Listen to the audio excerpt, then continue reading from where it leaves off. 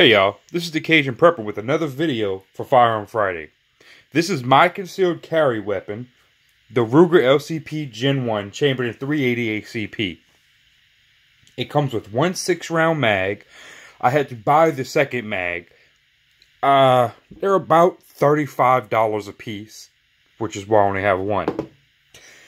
It is a glass-filled nylon grip and a hardened alloy steel sliding barrel. This is meant for up close and personal, not long range. It only has two and three quarter inch barrel and only weighs 9.4 ounces. I carry full metal jacket ammo, which is the best self defense ammo for 380.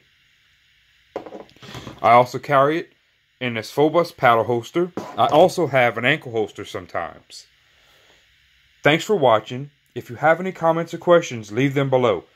This is the Cajun Prepper signing off.